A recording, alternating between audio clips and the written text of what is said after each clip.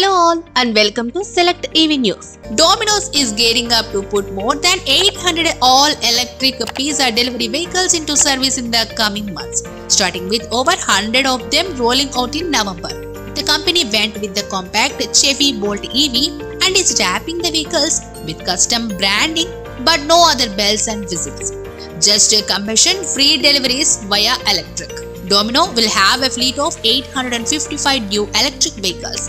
To be exact, and while that's not quite enough to reach all 6,135 of the pizza shops in the US, it's more than the Chevy Spark based, that means gas versions, once it built with custom pizza warning oven doors in 2015. Those were called the Domino's DXP and only 155 of them were made. Chevy Bolt EVs are capable of going 259 miles on a single charge.